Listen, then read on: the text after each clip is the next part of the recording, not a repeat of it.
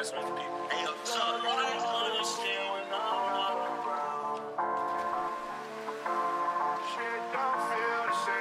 We're gonna do this one for Lucy right here.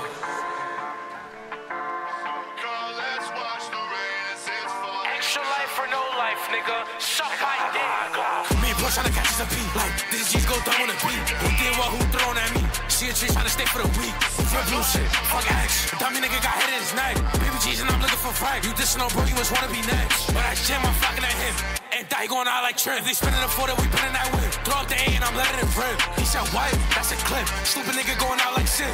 Me and Cuz, we have to get low. You throw, I throw, let's go. Tryna go on my the beat. Go double my spin for a week. How many days did this shit got me weak? They with him down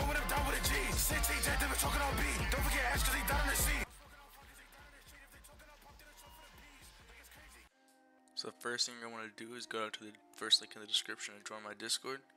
Once you're there, scroll down to FiveM mods and graphics, and then download Real Life Graphics V6.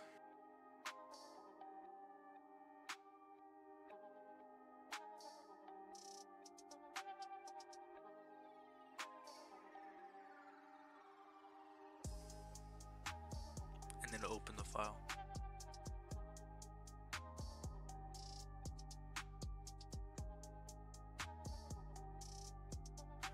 You open it up, open up your FiveM application data by typing FiveM into your Windows search bar, right clicking it, open file location, right click it again, open file location, double click FiveM application data.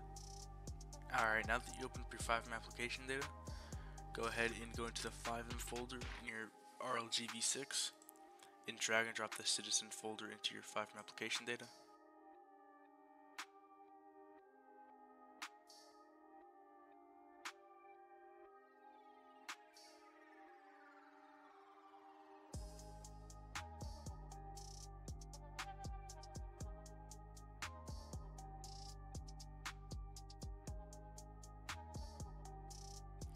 Then, drag and drop the mods and plugins folder into your FiveM application data. Now, go back in your RLGV6 and click into the Grand Theft Auto 5 folder. Now, close out your FiveM application data and find your GTA 5 main directory.